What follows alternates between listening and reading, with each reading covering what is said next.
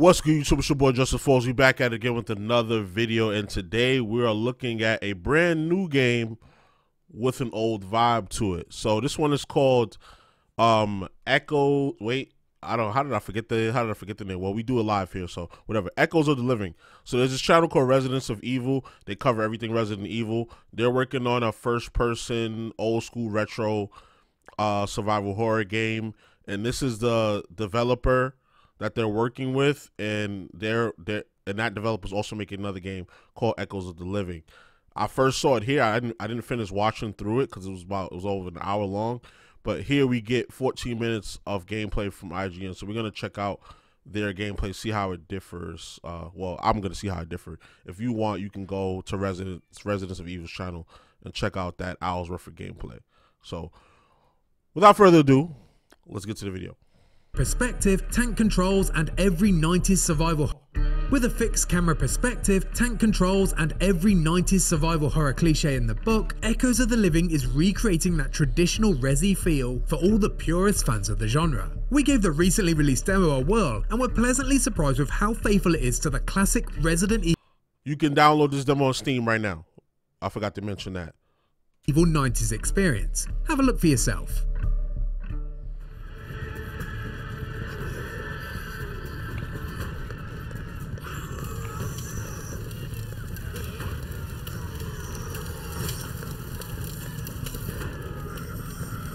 You would think you would think Capcom would like come after these people, but I mean, when you make an original game, even though it's heavily based on an already already established IP, I guess it doesn't matter as long as everything in it, as far as like you know what's shown on screen, as far as like assets and stuff like that, and the names of things are completely different, then I guess it's okay. Because I know when they were trying to make the RE4 remake, the community tried to make it and they were almost done.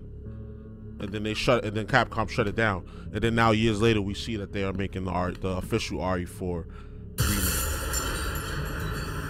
You could probably still download it though somewhere if you want that version, but I would just wait for the official Capcom one because they have obviously they have more assets, more more uh, money to put towards it, and they're the ones that created it. So why would you not want it straight from the horse's mouth?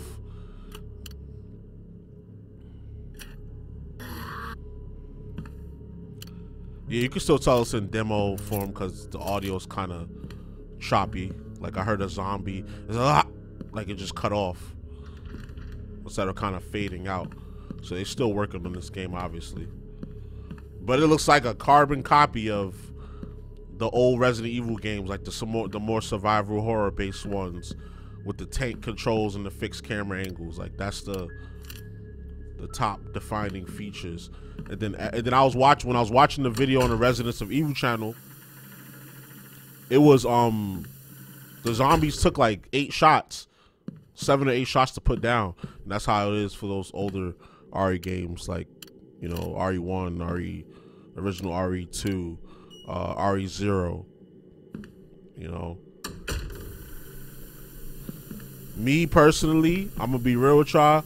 I'm more of a fan of the more action-oriented ones, like where you can move and shoot at the same time, or at least you can move around, and then when you stand still, you can aim down sights where you're shooting, and the camera's behind the, the character, like third person, third person kind of vibe.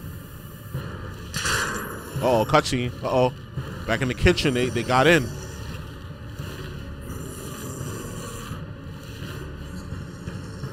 Uh oh. They about to bust through the door. Uh oh, Billy Bob woke up. Here we go. Here comes the horror. Now, will he survive? We don't know.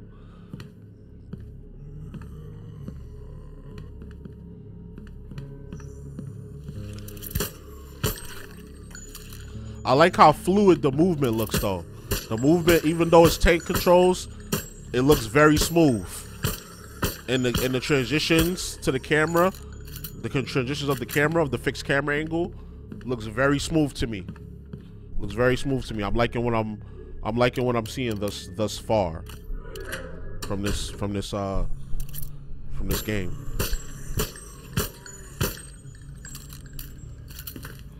Like some some of them take five, some of them take seven, some of them take eight shots. Like, like it's not. This is not this. These type of games are not like run and gun type shooters. It's like you gotta or manage your resources. Like this is a resource management game. Kind of like how in real life, if there was a zombie apocalypse going on, you're not gonna just have infinite bullets everywhere. You gotta time your shots, and a lot of times you gotta run away.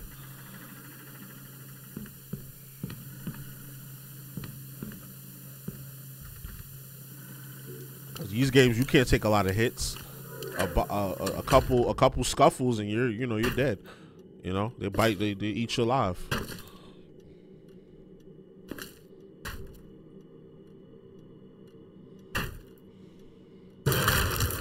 Oh, see, jump scares don't work on me. Like, first of all, I'm a fan of horror movies. You know what I'm saying? And I've been through so much in my life. Growing up how I grew up, I like it just like it just, just it doesn't scare me. I might, you know, like you'll never catch me like that. Like I'll like oh like it'll the jump scare, the jump will be more internal because that's just like my that's just like my reactions, my reflexes. But I will never ah like like I'll yell like when I be yelling and stuff. That's that's me being dramatic. Like if you go watch my stream highlights, I was playing um I was playing Choo Choo Charles and um I was reacting. I was like, ah, like I was like, yo, because it was this one part where if I don't know if you ever played Choo Choo Charles, but it's this one. It's it's a train that's like a spider. It looks like this looks like Thomas the Train, Thomas the Talking Train, or whatever you call it, and but it's like a spider. So your train and you have a train with weapons on it. So you can only fight him while you're on the train with weapons on it, and it's on a fixed track that goes throughout the uh, that goes throughout the uh, um, the world. So some, sometimes you got to get off track to get resources. So I went off track to get resources and weapons. He comes running behind me, big old train, choo choo train. And I'm like, ah, I started bugging out, like. So that you know stuff like that. I'll do it on purpose just for entertainment purposes, but I really don't get scared. It don't really scare me. I don't know why I just went on that rant, but I mean, th there's no dialogue, so y'all can watch this and listen to me talk at the same time. If you're here watching, it's because you want to hear my reaction or you want to hear a person's reaction. So, so far, I think this game is dope. Like I said, the camera angles are smooth. The audio is dope. The colors are dope. Like the sense of the sense that the world, this world has been through something, is very imminent. Like I can feel it. Like this world is going, going to shit. You know, right now, and I think they, they did a good job of capturing the vibe of a Resident Evil style survival horror game, while at the same time doing their own thing with their vision and what they what they think would be a good survival horror game.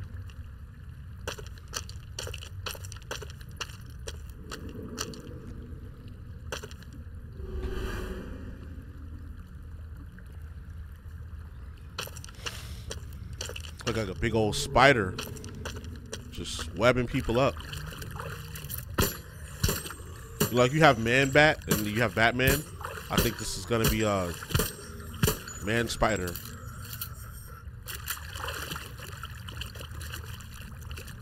I wonder, I wonder what they call what they call their infected, like, uh, because you know you got in Resident Evil is bio weapons, and you have the letter the letter viruses.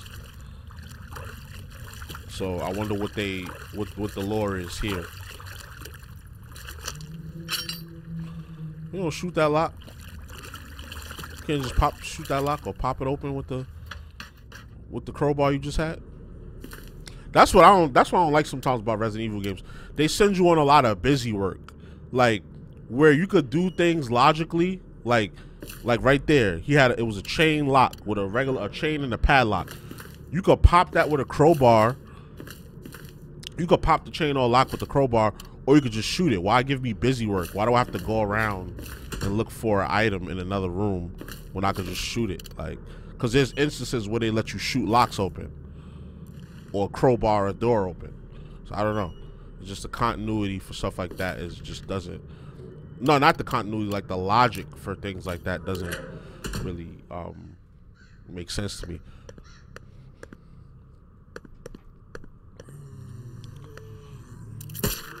Shoot the barrel. Shoot the barrel.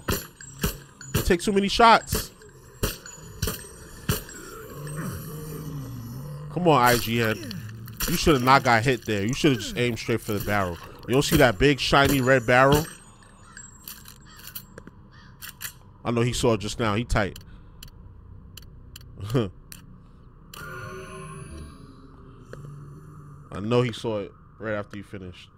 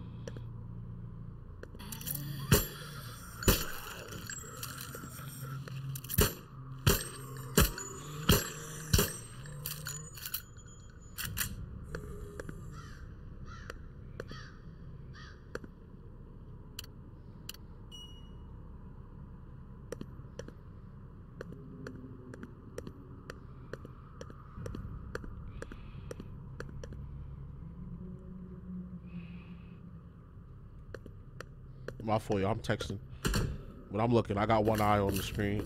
I can see it in my peripheral vision.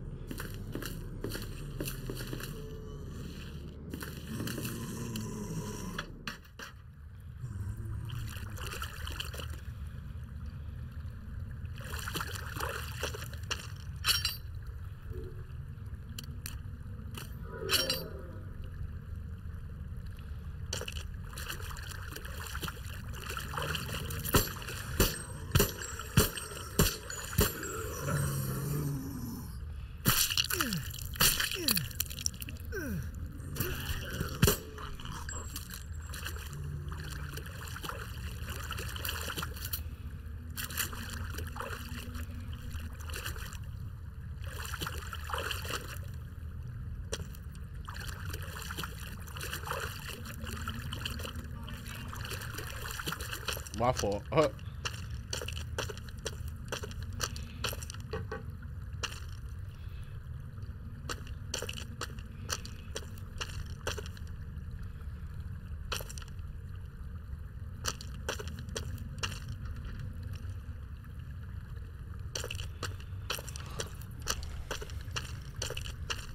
I want to see the spider. Do he get to run into the spider?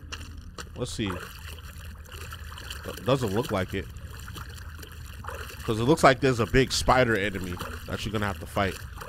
I'll, that's another thing about Resident Evil style survival horror games. Like, you get the big encounters with the big monsters, the big bio weapons. I love those fights. Those, I live for those. Like, for real. Like, some of them are super easy, but it's just like the over the topness, like the action and the over the topness of it, and the suspense is is just is just something that you live for as a as a gamer. As a gamer, you want those over the top, out of this world experiences. That's you know, that's the reason why we game. You know, to take us to give us a escape from reality. Let let us do things that we wouldn't normally do in real life. That gives you a proper balance. Like if you have a social life, if you have some type of social life. Now, I'm not saying sit home and play video games all time at all times and suspend yourself in this other world. Like that's not healthy. Too much. I always been of the mindset too much of anything is a good is a bad thing. Too much of anything is a bad thing. You know, even money. You know, because it could turn you into a wicked person. It could get you into a lot of trouble. But you know, as far as video games, it's a good balance to, to your social life and to your your personal time and how you spend your personal time. If you like that video, why not check out a concept that was made by a fan for how Resident Evil 7 could look with a fixed camera perspective. Yeah, I saw that video before. Go check that out if y'all haven't. But yeah, this game, like I said, um, I wanted to see the big monster. I wanted to see the big. I wanted to see a big encounter. We didn't get that. We got a lot of zombie combat. This is like this is more in the vein of the earlier Resident Evil games where you um have to shoot the enemy eight million times to defeat them, but it's not about shooting. It's about surviving.